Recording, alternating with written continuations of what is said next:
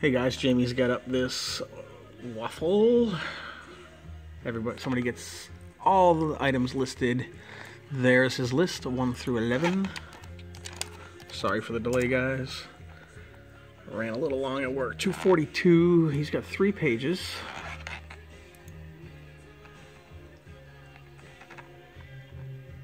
And then one more. All right, let's do it. 11 spots coming up. We're secure. Certificate is good. Oh, shut up.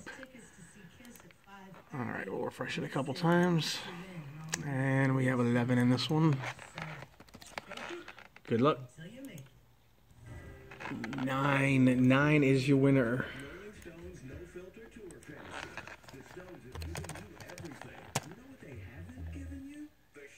Two forty three. Number nine is going to be Ryan M. Congratulations, Ryan.